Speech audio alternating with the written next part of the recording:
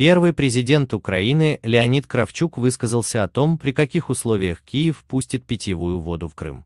Свое неоднозначное мнение он озвучил зрителям украинского телеканала «Дом». По мнению Кравчука, Украина должна положить конец водной блокаде полуострова, только если крымчане ощутят настоящую гуманитарную катастрофу от недостатка воды.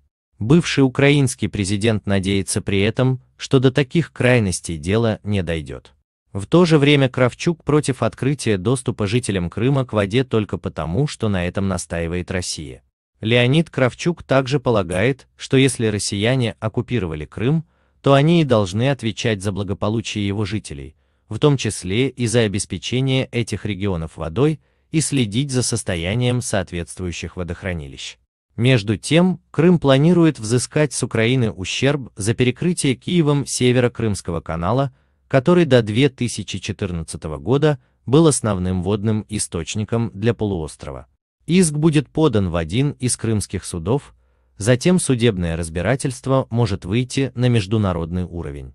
По словам заместителя главы крымского парламента Ефима Фикса, сумма иска к Украине составит 1 триллион 476 миллиардов рублей.